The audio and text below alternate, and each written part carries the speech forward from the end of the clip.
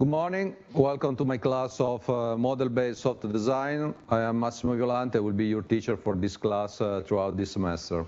Uh, today I want to um, go through this introduction uh, to the course slides because I want to explain first why I decided to put together this kind of course and I uh, presenting the material that is inside this course. And then uh, I will give you some administrative, administrative issues, information about the exam, uh, the teaching material, and so on and so forth. Uh, so let me first start with the description of the purpose of this course.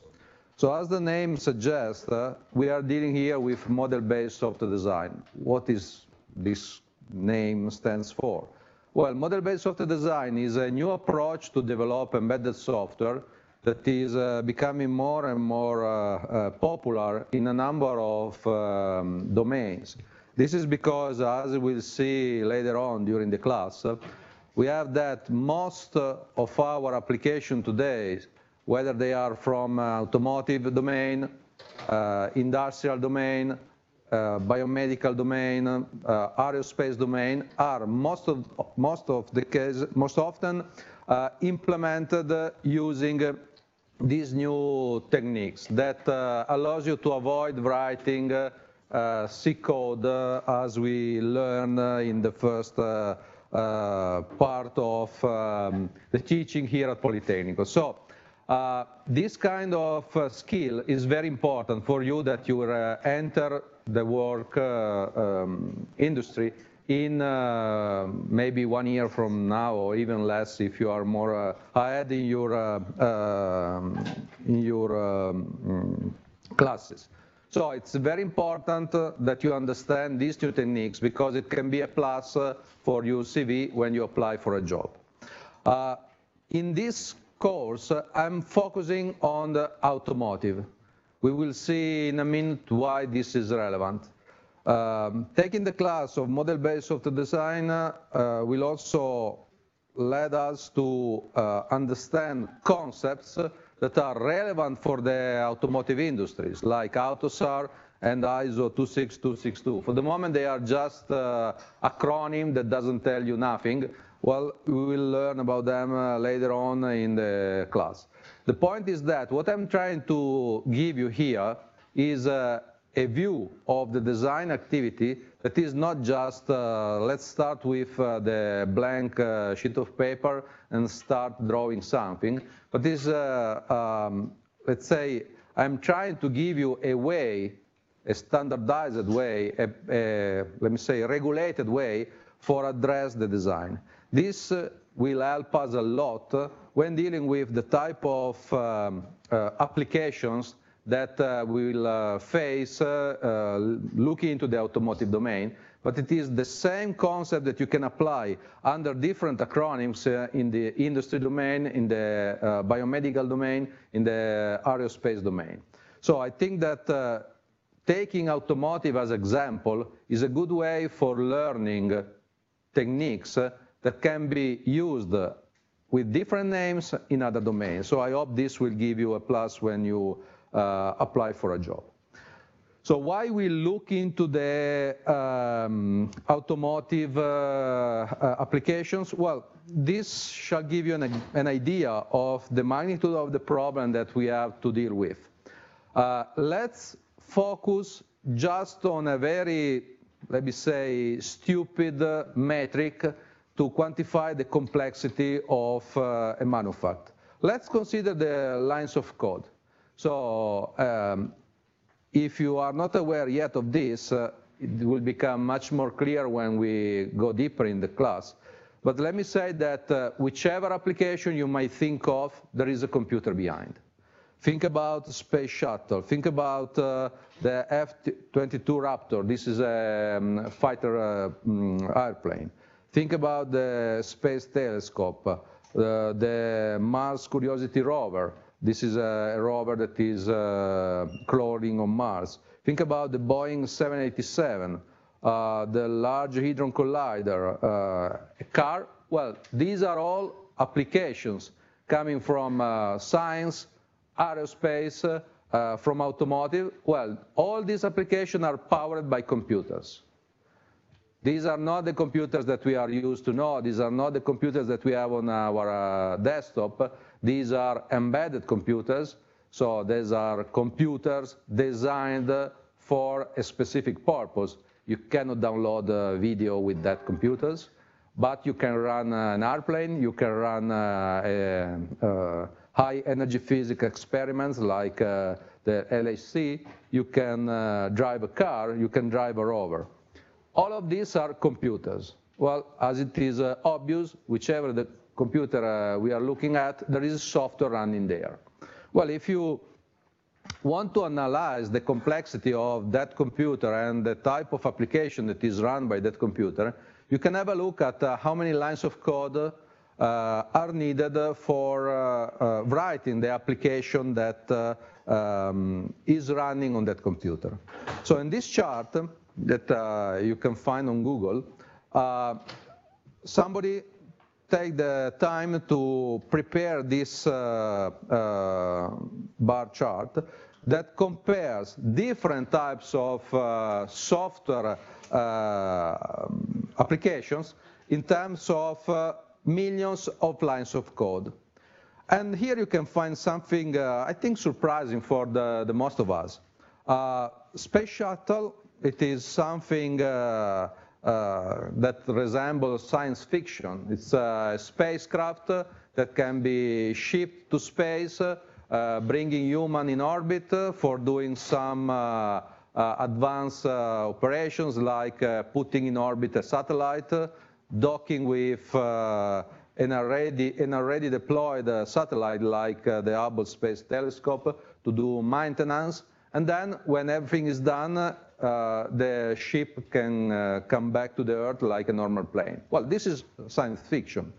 Well, let's see how many lines of code are there. Well, it is probably in the range of one million of code. Uh, if we move forward in this uh, analysis, we can see that uh, um, a modern airplane like the Boeing 787 has much more lines of code than this uh, science fiction stuff. We are in the range of, uh, I would say, 12 million lines of code. Well, if we continue to analyze this, we can see that uh, even Facebook is more uh, complex in terms of lines of code than the code needed to fly an airplane. We are in the range of uh, more than 60 millions of lines of code. But then let's have a look at the car. With a car, we have uh, roughly 100 millions of lines of code. This is code that somebody has to write. This is code that somebody has to validate. This is code that somebody has to put at work on a car that is uh, allowing you to drive at 150 kilometers per hour on the highway. So the amount of code that uh, you have to deploy on a vehicle is uh, huge.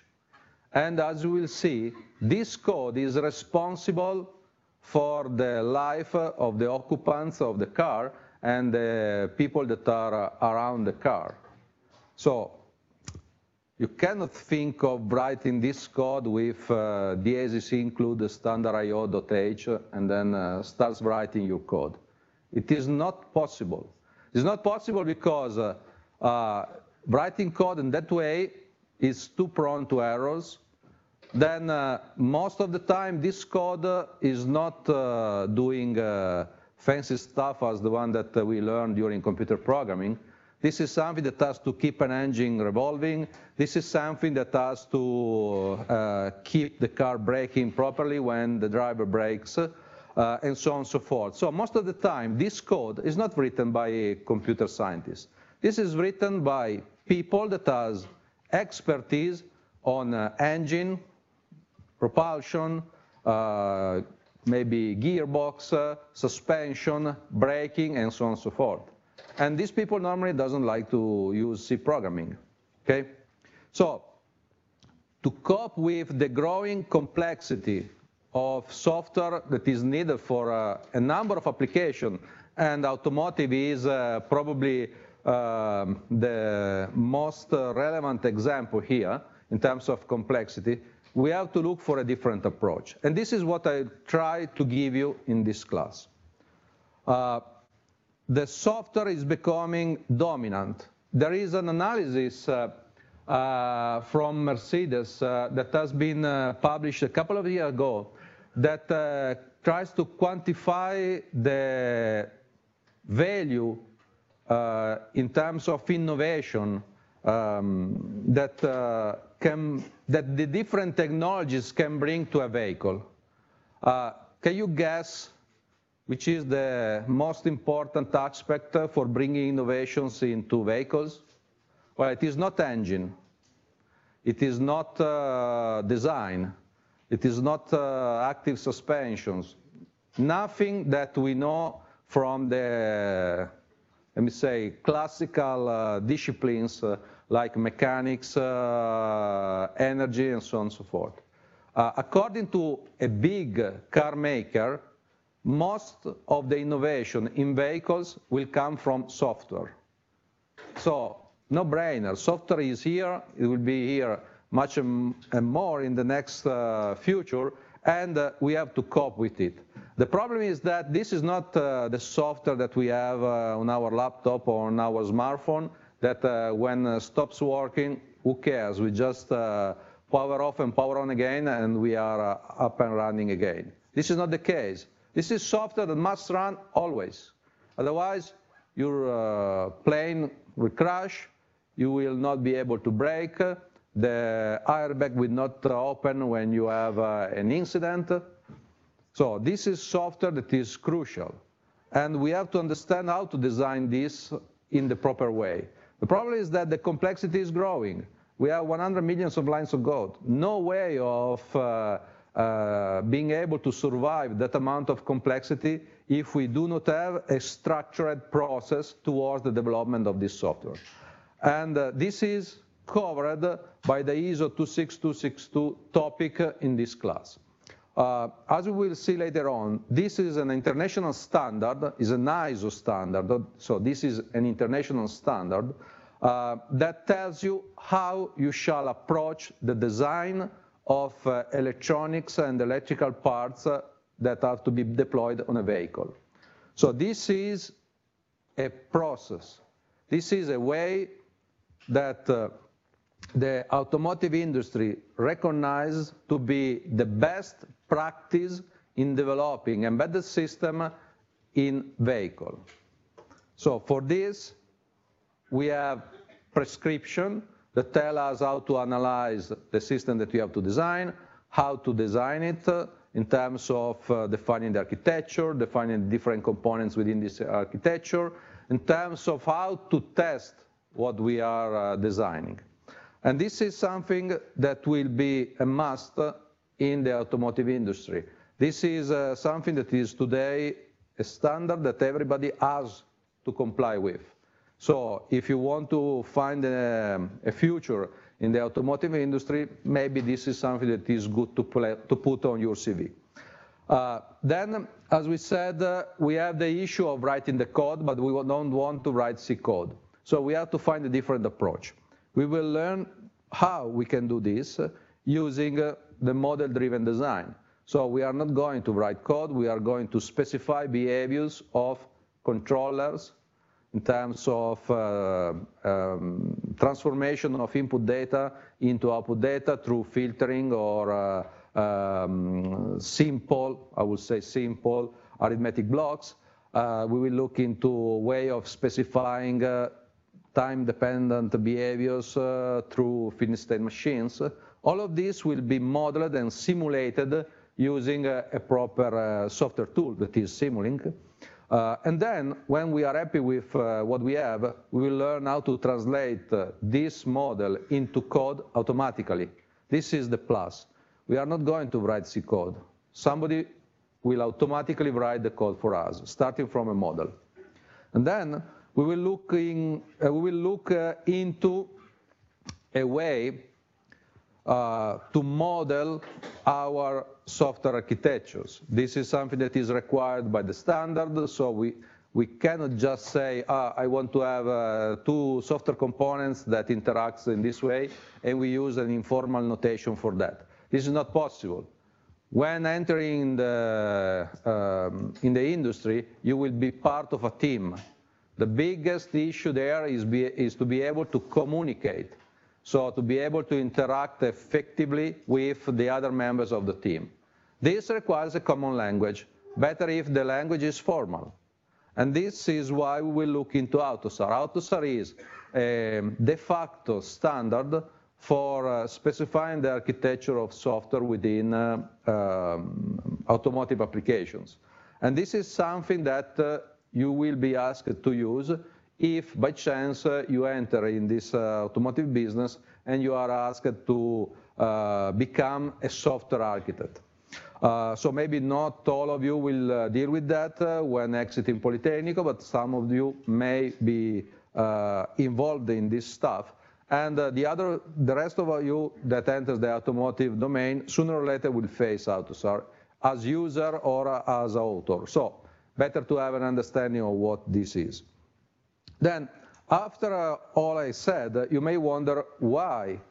So why do we have to uh, address uh, all these topics? Uh, why the teacher is trying to convince me to buy the content of this class? Well, this is, simply speaking, uh, a matter of uh, looking uh, a bit ahead in time and uh, uh, taking into consideration the fact that uh, you will exit Politecnico sooner or later. I hope for you sooner than later. But typically, when you exit Politecnico, what do you do? Well, besides some, let's say, uh, the compression period on uh, seaside or whatever you like to enjoy your time off, you will be busy writing CV and asking for jobs. So you will submit uh, your CV and you will look for interviews for being hired by somebody. If you look at South Politecnico and you want to stay in the perimeter of Italy, I would say even the perimeter of Torino, not, not moving too far from Torino, this is a, a not exhaustive list of companies that are looking for new graduates um, that are uh, active in the automotive industry. We have a big OEM here. OEM start, stands for uh, original equipment manufacturer. So OEM is a, an OEM is a company that builds vehicles. It could be passenger cars, like in the case of FCA or General Motors. It could be industrial machines or uh, uh, passenger bus, like uh, CNH Industrial. So these are companies ready for hiring you. Then we have, uh, I would call them uh, tier one suppliers. Those are the one that uh, provides components to the OEMs. So we have, for example, uh, Magneti Marelli that is doing uh, uh, electronic control unit um, for engines, for suspension, for the body computer. We will learn about that later on. for infotainment. Then we have, for example, TRW. They are looking for people to work on the braking system or on the steering lock system. We have uh, maybe smaller um, uh, tier ones like uh, Metatron. They are specialized in building electronic control units for um, uh, natural gas uh, uh, combustion systems. they are supplying, for example, the electronic control unit for the um, methane buses of Iveco. Uh, you have Magna. Magna is uh, very active in uh, particular embedded systems that are um, responsible for keeping the, um, the fluids um, in movement within vehicle for uh, uh, cooling purposes uh, or for, um, I would say, the comfort of the people inside the vehicle. So there is a plethora of other companies that can hire you. And then around this OEM and tier one, there are the tier twos. These are those companies that provides either people or services to the tier one and to the OEM. And here, well, you just can give a name and it is here. We have Altran, Teoresi, TXT, ETAS, uh, and then a plethora of other uh, smaller uh, companies that are uh, um, active in the automotive uh, industry. So I think that uh, given this, let me say, scenario here in Torino, it is good to have at least uh, an understanding of the different topics that are relevant today for the automotive domain, because maybe you can uh, end up being interviewed by uh, people belonging to this company. So I think that uh, having knowledge of the processes that are needed, the methods, and also the tools, this is something that we will uh, come back in a minute, uh, it is relevant for shaping a good CV that becomes appealing for this uh, for this kind of companies. Then, if you are not looking for a work uh, uh, in the automotive industry, well, the content of this course is not useless because you will learn that when you move to a different domain, let's say biomedical appliances, or another domain like uh, aerospace uh, uh, applications, you will end up with the same procedures, with the same technology, with the same methods. They are regulated under different standards. So the name of the standard will not be ISO 26262, will be most likely DO 178. But this will not make a big difference. Once you understand the concept, you can export this, that concept in a different domain. So I think that is a, a value for you uh, going through the material that I'm presenting here. And that's why I, am, I shaped this course in this way. Uh, to even convince you more about this, because here we have an heterogeneous mix. There are students from mechatronics. Can you raise your hand, please? Okay, thank you. Go down. And then there are students from uh, computer engineering. I think it is the rest of you. So you, could you raise your hand, please? Okay, perfect. Thank you. So uh, here we have an heterogeneous mix. So uh, are the roles of different type of uh, backgrounds the same in a company? Obviously not. The people that are from mechatronics engineer will follow a certain path within a company. The people from computer engineer will, will follow a different path. So let me try to explain you uh, which are the different roles that you can uh, have to play with uh, when entering in the automotive industry. And let's try to motivate why having the same knowledge can be helpful. So let's take as an example this application. So here we have an internal combustion engine. Uh, by chance, this I think is something uh, produced by General Motors that is uh, sitting behind us, uh, beside us. Uh, well, if you look into the architecture of a modern engine, besides uh, the metal, the the the all the, the, the gears that you have here, all the different moving uh, parts that you have here, you will find uh, a box like this one. This is the electronic control unit. The electronic control unit is the unit responsible for keeping the engine operational. So the engine could work uh, even if one piston is not working. Okay? But if this little stuff here is not working, the engine cannot work. No brainer. And given the current uh, regulations in terms of emissions, you cannot have any chance of being able to produce an engine that is able to withstand the current uh, regulations in terms of emissions if you don't have an electronic control unit. Okay? So whatever the other uh, colleague of mine are saying, uh, you have to remember that mechanics is important, fluidodynamics is important, uh, energy distribution is important, everything is important. But if you don't have hardware and software, your car will not move. Your engine will not start working, okay? So don't underestimate the value of the hardware and software on the vehicles of today. And the same also applies to other industry. Think about uh, the um, uh, Eurofighter Typhoon. That's a, a fighter jet.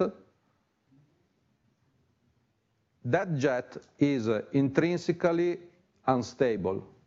So if the computer that is uh, responsible for moving all the, um, the elements uh, on the surface of the wings of that plane is not doing uh, its work uh, properly, the plane cannot fly.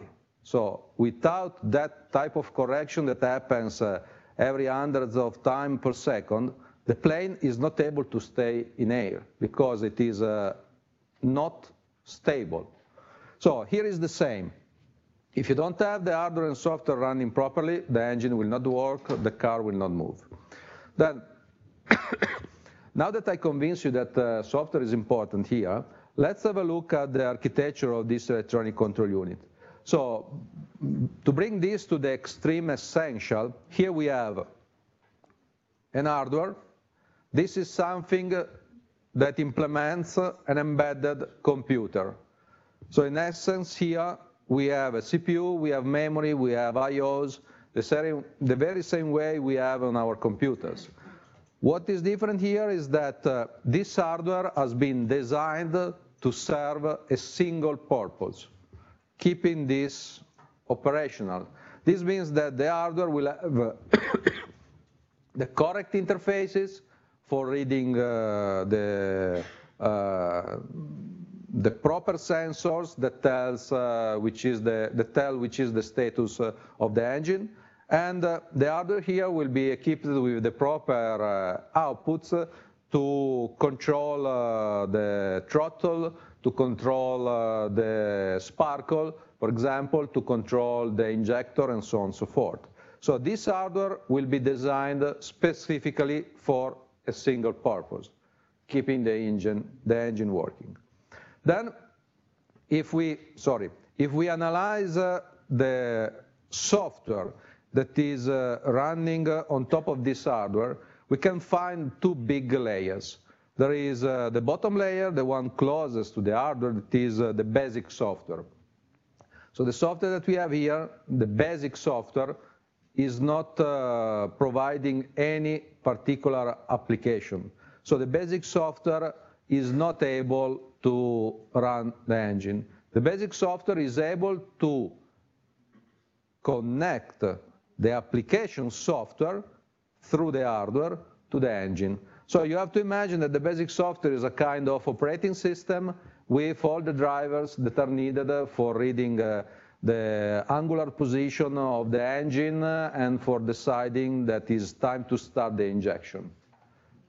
So here on the basic software we have, let's say, the operating system and the drivers for uh, the activity that we have to implement to keep the engine running. These activities are decided by the application software. So the top of the stack here is the real software that implements the engine control unit, that implements the control of the exhaust gas recycle valve so that uh, when uh, the exhaust system tell us that the engine is pushing too much pollution in the air, we keep the exhaust gas recycling within the combustion chamber so that we try to uh, burn them again to reduce further the emissions. So here is where the real intelligence lies. So here is where we have uh, the capability of keeping this engine operational. Well, if uh, we try to map uh, these different type of uh, components that are running on our electronic control unit with the skills that uh, you are uh, bringing, having selected a certain curricula, we can say that uh, the application software is where the domain experts shall work. So if you are expert on uh, uh, control algorithms, if you are uh, expert on mechanics, if you are expert on combustion, well, here is where you have to work. So here you will be asked to design the control algorithm. The control algorithm, so is most of the time under the responsibility of uh, mechatronic engineers, uh, that uh, by knowing how to interact with mechanic persons, with, um, let's say, people with skill on energy, can understand how a controller shall be designed.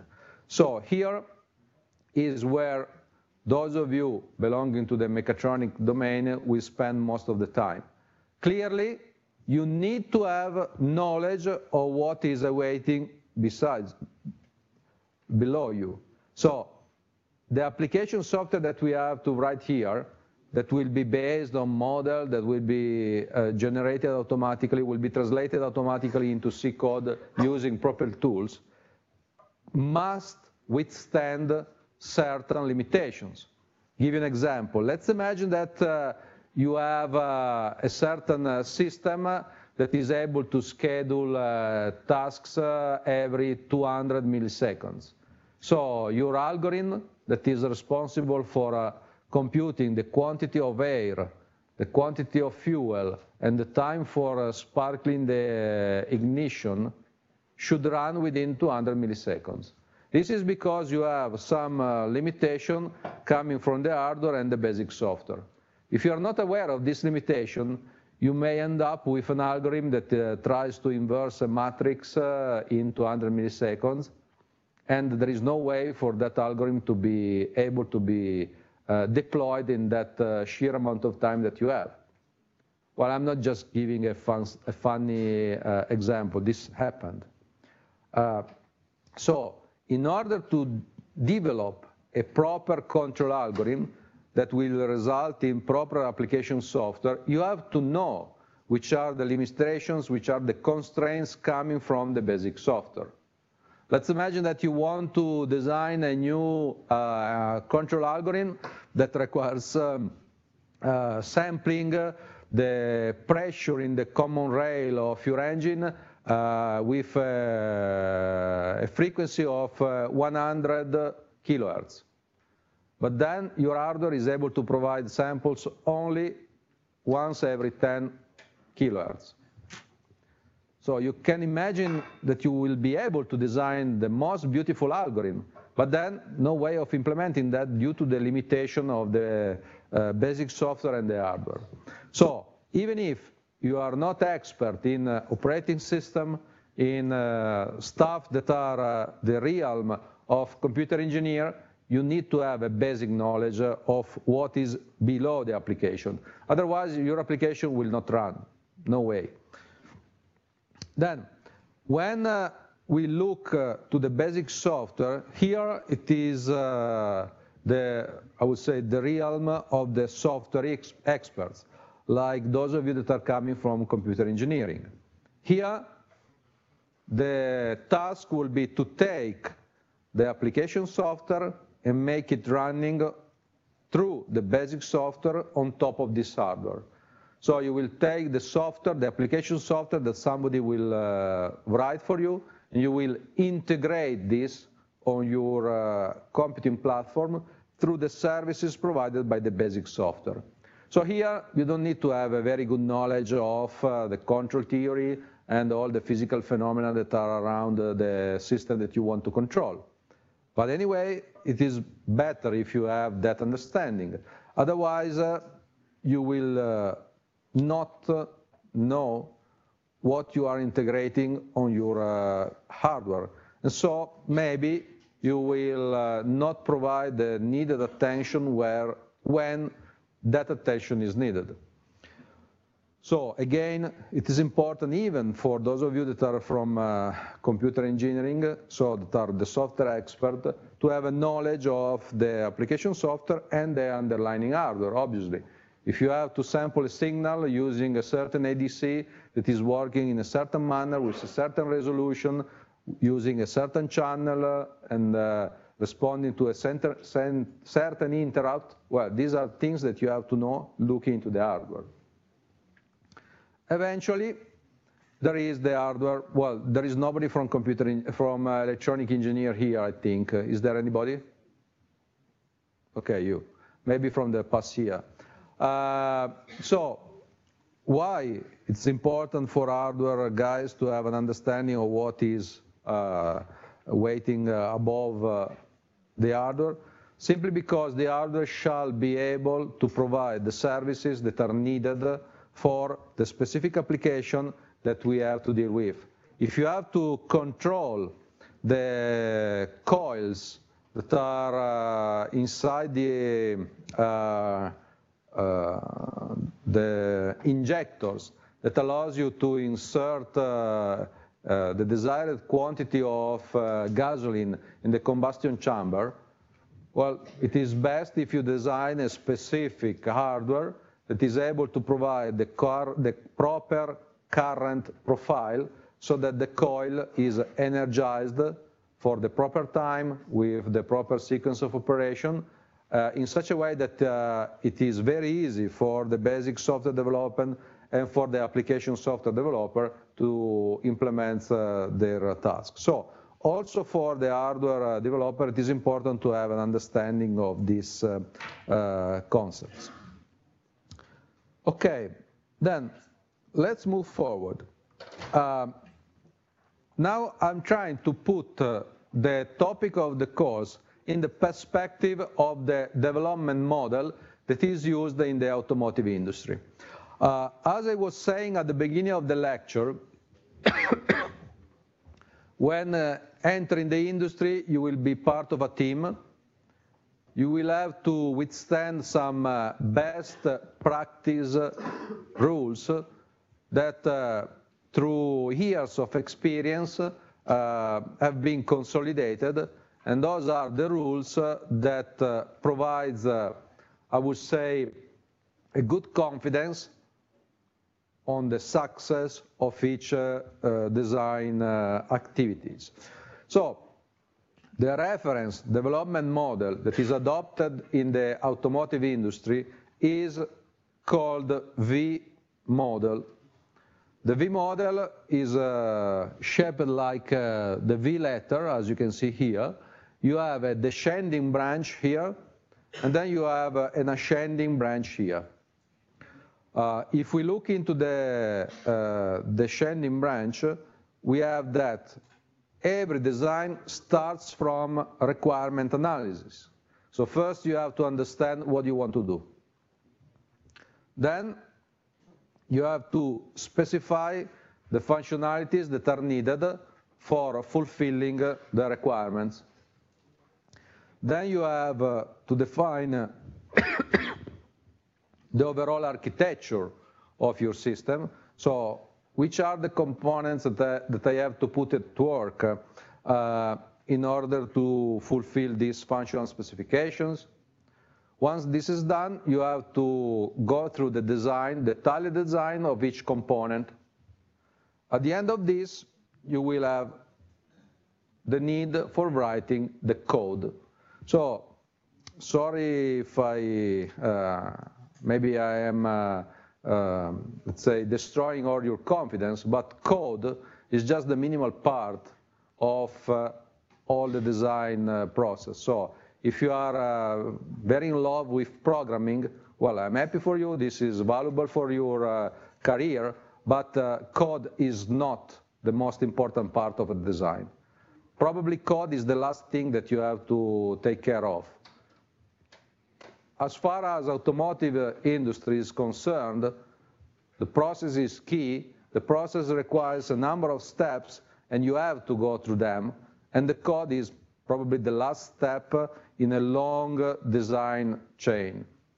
Then once you have the code, you can start the uh, ascending branch of the V model. So you will have to test adequately each component that you developed to verify that uh, the behavior of the component under any circumstances is uh, compliant with the specification. Then once uh, each component has been tested uh, adequately, you integrate them, and then you test again to check whether the integrated uh, components are still behaving as expected. Then, when you are happy with that, you can deploy your system in the application. So you will start testing how your hardware and your software works within the system that you have to deal with. And then when you are happy with this, you can uh, ship uh, everything to the customer, hoping that it is satisfied. Well, all of this is very strictly regulated by the ISO 26262 that will follow. And uh, I will try to give you a glimpse of what it takes uh, to develop uh, according to this model. Then, how this maps with the topic of this course? Well, in terms of requirement analysis and functional specification, we will look into ISO 26262 as guidelines for doing these um, activities. As we will learn in the rest of the class, we will see that uh, our software, as well as our hardware, have uh, safety implications. This means that if something goes wrong, your airbag, for example, deploys too late to save your life or your uh, steering lock locks when you're driving. These are things that could happen. Uh, there is no way out of this. Hardware will fail sooner or later. And uh, if uh, these fails are not uh, taken into the proper consideration, somebody will die, roughly speaking, okay? This is the real concept. If your software fails, somebody will die. So we want to avoid this we will see later on that uh, somebody overlooked this and uh, there have been uh, severe effects on this misconception of the design. So we need to have a process to address the requirement analysis and the functional specification to understand how critical our, our software is. Is something uh, dying out of an error here? How likely this is uh, to happen? Is this something that we have to take care, or is this something that is so remote that we can neglect? We have to weigh a way, we need to have a way for taking these decisions. And for this, we will use the ISO 26262. Then we have to design our system. We have to define an architecture. This is because uh, we have to reason on what, uh, on what we want to deploy before starting coding, because uh, if we analyze uh, carefully the architecture of the system, we can end up with uh, a more uh, effective architecture, and so that uh, we have to spend uh, time encoding only what is really essential. We will deal with AUTOSAR as a way for specifying architectures. Then we will do design we will do design through models. So we are not going to write uh, in C code the uh, algorithm to filter a signal uh, that is needed for uh, understanding whether our uh, um, braking system uh, is working correctly or not. No way of doing that. We will model our controller using Simulink we will see that there are plenty of, uh, description languages, let me say, for this task. We will use Simulink. This is because it is the de facto standard in industry. If you look into what GM is doing, if you look into what uh, uh, FCA is doing, they are using Simulink heavily. So we will uh, use that as well. And then we will see how the models can be used for validating in advance the proper operations of our controller. So we'll do a lot of model in the loop testing here. Then, when we are happy with what we obtained, we will translate the model into code automatically. This is another important asset. Uh, most of you is from mechatronics. Maybe some of you attended uh, some programming class. Maybe some of you had the chance of attending the class of uh, Professor Serra. So maybe you have uh, the chance of uh, fighting with C programming. We want to avoid that. It's too time consuming, it's too error prone. So C code will be derived automatically from models. And for this, we will, use, we will use embedded coder. It is uh, one of the tools that MathWorks provides uh, for uh, deploying uh, production code starting from models. Then we will uh, uh, validate our software through a formal approach, and for this we will use Polyspace, and through testing. Uh, for this, we will need uh, hardware because uh, once we end up with our software, so with our code, we will have to bring this software into a piece of hardware, and we want to test this, how it works on the real hardware. For this, this is, uh, let's say, a new entry of this year, we will use a National Instrument MyRIO platform. That is a platform that allows you to write models of your plant. Let's say you can model uh, your engine using these uh, rapid prototyping tools so that you will have a piece of hardware that works on your, uh, on your desk uh, that behaves exactly as uh, the system that you have to control. Then we will connect our hardware running our software on the simulated plant and we'll check whether everything is working fine or not. So this is to give you, let's say, a perspective of the content of this class with respect to the reference development model of um, the automotive industry. Then, let me move uh, forward and let me uh, start going in more uh, detail about what you need to attend successfully this class. So let me say one thing uh, first. Uh, I think it is evident from uh, what I said uh, until now, but let me say this again. Uh, this course is not intended for teaching you how to pass the exam, okay? I, am the, I have the ambition of teaching you something that will enrich your CV, okay? So this is not an exam factory. So I'm not here to tell you how you should address exercises to pass the exam. I'm trying to give you some skill that you can spend on your CV. Like it or not, this is my point of view because I think this is a service that I can give you as student of the last year that will enter uh, the industry soon, okay? This is not the first year when you have to screen you out to see whether you are able or not to complete uh, an engineering degree. So here we are, you are almost to the end of your engineering uh, curricula. So sooner or later you will become engineers. So it's better for you if you have some skills that you can spend directly six months from now, 12 months from now when looking for a job. So in order to fulfill this goal, I am strongly convinced that uh, you have to experiment because, uh, uh, as somebody said, uh, if you do things, you learn things. If you just read or listen, you will maybe remember or understand. But uh, if you don't practice, you don't know. So for fulfilling this, you need to have a notebook. In this class, there are plugs. Uh, i ask to stay here because uh, you will have the chance of connecting your laptop in class. So you need a notebook. How many of you already has a notebook? Could you, could you raise your hand? Okay, practically any of you, that, all of you, sorry, that's perfect. Then you need to have, you need to have MATLAB, Simulink, Stateflow, Embedded Coder, and Polyspace installed. No problem, this is provided through you officially by Politecnico di Torino.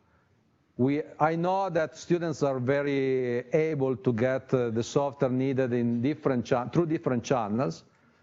Okay, this is not the case. Uh, Politecnico have an academic uh, alliance with the MathWorks.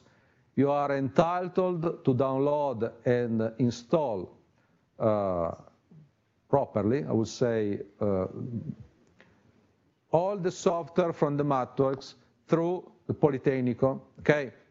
So you can download this software, you can install this software on your laptop, you can use it, and you will use it. Then you need an embedded hardware that you have to buy. I will more, explain more about this in a minute. And then you will need to have the MyRIO board from National Instrument. I will provide that, okay? So you have to do an investment on this course. This is the time where uh, many of you may start to argue and say, oh, how come, how is it possible that I have to have uh, an embedded hardware that I have to pay on my own pocket uh, to attend a class? So this is normal reaction. Okay, let's try to justify this. So let's imagine that uh, I say, okay, if you want to pass the exam, you have to buy these two books. Okay? This is not the case. This is just an example that I'm using to justify why I feel comfortable in asking you a little investment on hardware. Okay? So let's imagine that in order to prepare the exam, you need to have two books. One is uh, Better Embedded soft System Software. This is from an author that uh, is a very uh, renowned expert on uh, embedded software for critical applications. And then let's imagine that uh, you also, also need to take model-driven software development, okay? So if you look into Amazon, last time I checked, these are the prices that uh, you have to pay for these books. And these are the number of pages that you have there. So let's try to analyze uh, how we can uh, procure, I will say, these books. Well, as I said, as students, you have uh, different channels of procuring the teaching material. Maybe you want to be legal, and so you decide to buy them 180 euros. It's uh, quite expensive. Then let's imagine that uh, you are more, uh, let's say, uh, liberal, uh, and you decide to copy them because you go into the library of Politecnico, you gather them, and then you copy them. Well, I tried to make some computation. I think, I, I don't know if this is uh, still up to date, but uh, last time I checked, this is the charge for uh, photocopying a page double face. So if you want to copy this, you can uh, you have to spend about 26 euros. This is illegal, okay? But you can do that. uh, if you want to download this uh, from the web, you can do that. Then you can print. More or less, you will have to invest five euros on paper. Then maybe you are more advanced, you want to come here with uh, your uh, uh, iPad or a tablet or whatever that's okay, but you have to invest uh, some hundreds of euros for the not for the iPad or tablet in general. Okay. So if you want, if you have to take the textbook, I would say the investment spans from 5 euros to 180 euros. Okay. Then let's have a look at the plethora of boards that you can find in that range. Well. This is not uh, exhaustive. There are many other new boards that are coming out uh, every month, I would say. So uh, I, am not uh, putting everything here. But uh, I'm saying that uh, I want to use this one. So as you can see, in between 5 euros and 180 euros, you have to invest something around 30 euros for this class affordable, I think, for uh, each of you. Okay? If you are not convinced yet, let me try to do this. Could you raise your hand if you have a smartphone? Okay. Then this is the price for Samsung. This is the price for Apple. This is the price for uh, Windows Phone. This is the price for the rest of the world. You can find here nothing below 30 euros. Okay? So if you can afford the smartphone, I think you can, you can afford the board. But maybe you say, ah, no, no, I'm not happy. I, I already have too much expenses. How many of you go dancing or having a pizza on Saturday? Okay? So I tried to check. I don't know if this is still up to date, but more or less I think yes. So if you go for a pizza plus uh, drink and dancing, it's 40 euros per Saturday, okay? So one weekend, is the price of the board that I'm asking you to buy for the class. I think it is uh, something affordable. So 40 euros for one Saturday night of fun, 40 euros for one semester of fun, okay?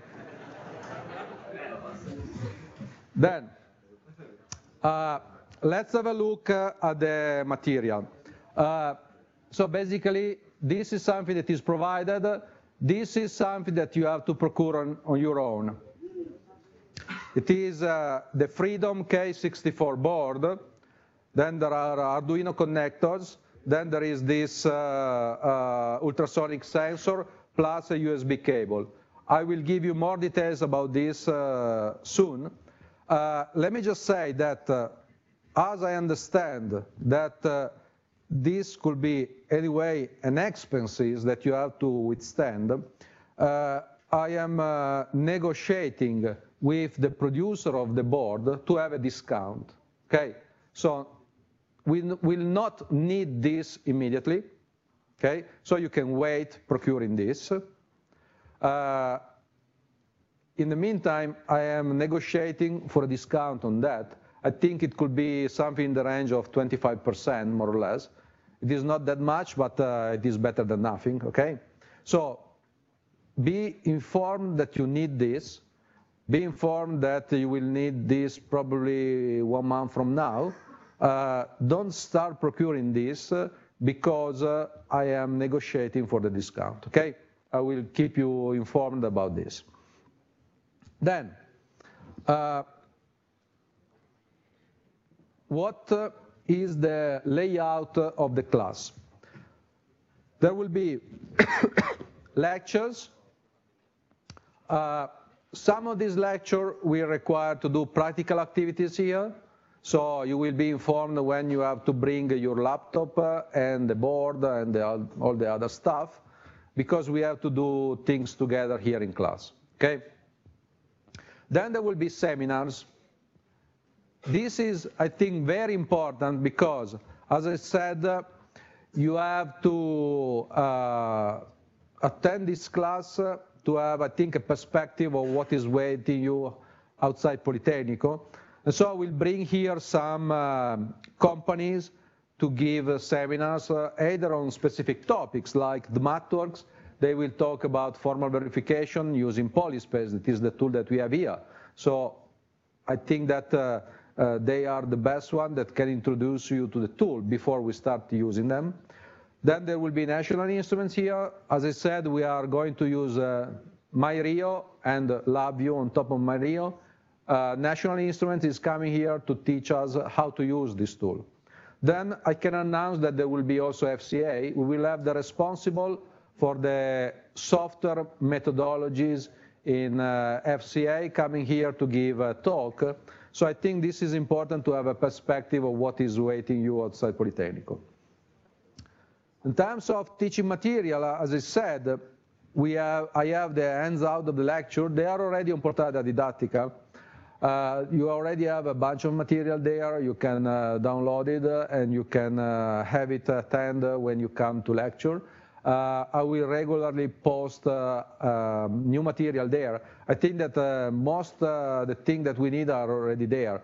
I still have to add some exercises and some exam examples, but this will come in due time.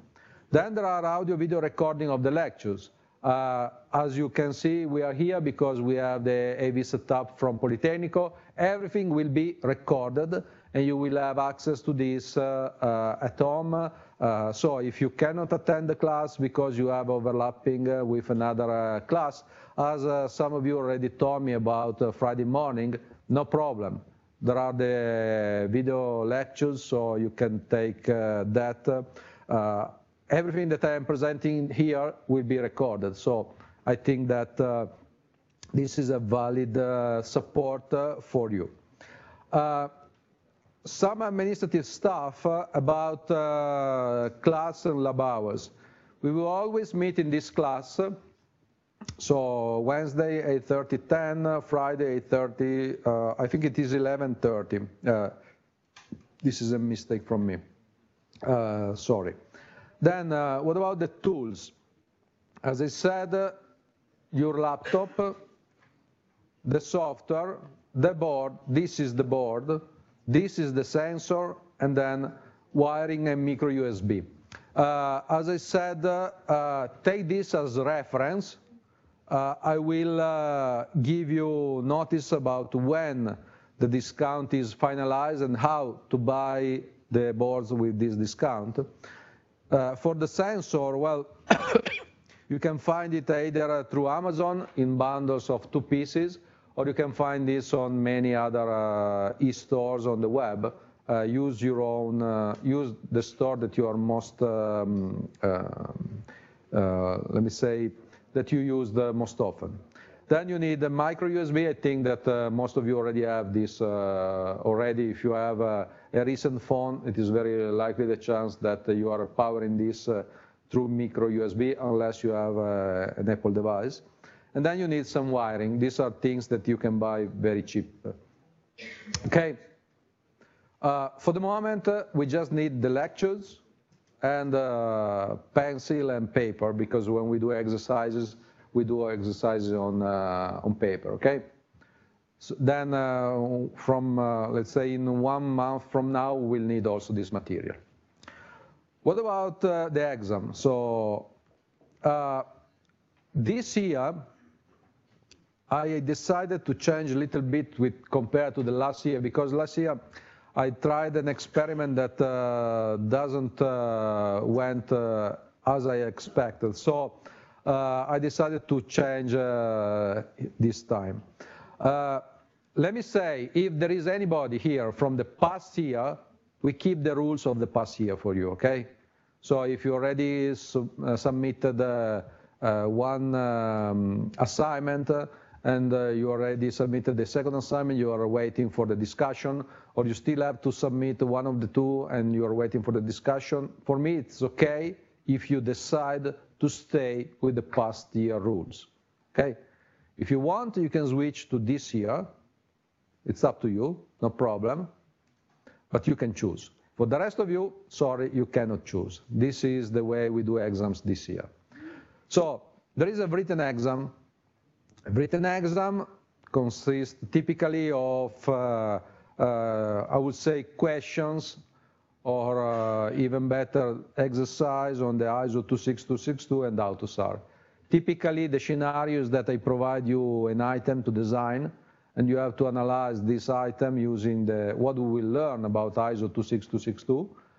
Uh, and then you have to draw the software architecture using uh, AUTOSAR. You will learn how to do this, so uh, don't worry now. This will be evaluated from 0 to 33. Then there will be an assignment.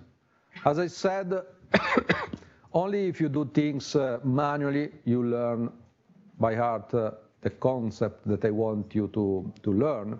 So I decided to ask to develop an assignment. Uh, you have to design something here. You have to provide me that you are able to test this thing. Uh, uh, you have to provide me that you have a, no a, working knowledge of the concept that I'm presenting here. And you will do model-based design here. Um, this will be evaluated from 0 to 33, and then there will be a linear combination of the two in this way. So 80% exam, 20% assignment. Uh, I decided to give 20% because it is still a sensible amount of uh, uh, points here, but it is not too much, okay? Um, so this is the way in which uh, you can pass this exam uh, this year. Uh, what about the assignment? Well, the assignment is always a problem because in this class I have 219 person enrolled, and uh, 148 are students enrolled in this class for the first time. So it is quite complex to give you an individual assignment. In terms of, uh, let me say, topics that can I propose so that they are uh, different enough uh, for uh, each of you so that there is no too uh, overlapping, I would say, between the different assignments that are delivered. Uh, but I still, I'm really convinced that uh, doing assignment is important to understand things. So I decided uh, to switch to the teamwork. Teamwork is encouraged. Uh, at the end, uh, when you go working, you will not uh, uh, self-standing, so you will have to work in a team. Each person in the team brings different competencies. So let's try to encourage this uh, soft skill in you and try to uh, devise assignments that are to be developed using teamwork. Then the assignment we require to analyze a problem using ISO 262 approach, to devise a software architecture using AUTOSAR, to design uh, using model-driven, and to integrate and test the software on a given embedded hardware. Why three colors? Because I'm expect to have uh, three persons in each team, and I'm expect that more or less this could be the division of tasks among you. Then you are uh, free to do whatever you prefer, but I think that uh, each assignment will require this stuff. And so it is probably reasonable to split the effort among the three players in the team according to this uh, subdivision. Then, if you want to do each of you a bit of everything, for me it's okay. It's up to you, okay? Uh, what does this bring us to? Well, as I said, uh, I'm just doing the computation with uh, the, those of you that are attending this class the first time. So there are 148 students. So today, this means that we will have 48 groups of three students plus one group of four persons. But this is not to say that this group has a simpler task than the others, okay? They will have a slightly more complex work to do to be consistent with the more uh, uh, resources that are in that team. Then, if some of you from the past year wants to take the new rules, we can uh, uh, split this um, in uh, two groups so that we have um, the same level of complexity for the due number of groups made of three persons. you have friends, you have colleagues you are used to work with, so take uh, yourself the responsibility of forming the groups, okay? You can decide uh, with whom you want to work with. It's up to you. Okay? But three groups, oh, sorry, but 48 groups of three students plus one of four persons. Okay? Then, what about uh, contacts? Send me an email. Uh, I am available in, uh, in the department. Uh, but uh, best if you write me. Uh, I could have uh, some latency in replying depending on what I have to do, but I will reply. Okay? Uh, all the material is available through Portale Didattica. So uh, take uh, that as reference for what you want to have from this class. As I said, part of the teaching material is already there. Mm, practically all the lectures for ISO 26262 and for AUTOSAR. Uh, and then uh, some of the topics about model-based design. As I said, I still have to upload uh, exams example and exercises. They will arrive uh, in the due time. Uh, okay, is there any question, doubts, uh, comments that you want to bring forward?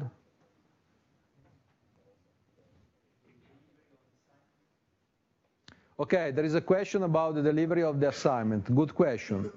Uh, well, I, I will ask you to deliver the assignment by the end of uh, the exam period of this semester. So this means uh, end of July. Uh, why is that? Well, uh, you may think it is an extra effort uh, on your shoulder during the exam period, but on the other hand, uh, is a way for avoiding you to uh, keep waiting to submit the assignment endlessly, okay? So better if there is a deadline so that you can organize your work uh, and you can deliver the assignment by that uh, deadline. So it will be end of July. Then uh, if there is a very important issue that you have to deal with uh, and you want to have an extension, let me know. But in general, I will set the rule for uh, end of July. If you want to have an exception to that rule, uh, please contact me and we can discuss about uh, why you need to that, have that extension. Then if you want to deliver earlier, that's okay, no problem. But I will send, will set the deadline as end of July. Okay? Any other question? Yeah.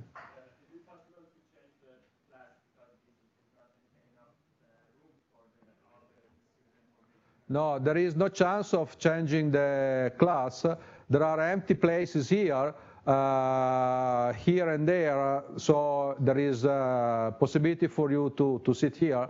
But then you will see that uh, uh, in uh, two weeks' time, uh, less and less people will be here because uh, most of you, you will use the recording. I'm pretty sure that due to the fact that we start lecture at 8.30, most of you will prefer to sleep and look uh, at the lectures online. I know that. So, okay. Is it needed to mix groups depending on the bachelor background? No, there is no special need in mixing the groups depending on the bachelor backgrounds. Uh, it would be nice to have that, but uh, you are not uh, evenly distributed. Uh, I think uh, most of you is from mechatronics and few of you are from uh, computer engineering, so I cannot mix them together. Yes, please. Okay. there are some of us that just finished the three-year degree. They are not enrolled yet in the, the two years one. So we are not taken into account in the, in the So you're saying that some of you hasn't yet uh, officially enrolled in the class because you are fresh from the bachelor. Okay, uh, this could be the case. It uh, will be more complex to deal with because the number of groups will increase, so the number of assignments that have to, to, correct will increase, but this is not a, a big deal for you. When you are uh, enrolled officially, uh, you will be forming a group, and that's okay. Um, I think, are you already able to access Portale Didattica? Okay, so here we have two problems. If you are just fresh out from bachelor and you are enrolling in this class but not yet officially, you don't have access to the teaching material. If this is the case, please send me an email. I will insert you among the students that have access to the material. Um, in uh, any case, uh, sooner or later, you will be appearing on my uh, student list. And so you will be enabled, and then when uh, forming the group, uh, I will take care of you. Uh, anyway, the rule is three persons. So try to uh, make groups of three persons. Then if there is uh, one person alone or two persons alone, they will join with uh, a three people group to form a four people group. once you have done with the group um, formation, send me the email of the group members so that I can keep track of whom is working with, okay?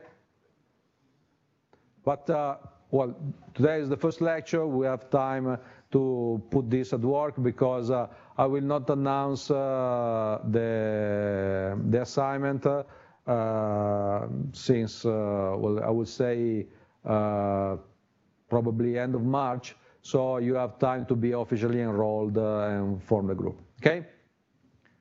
Any other question?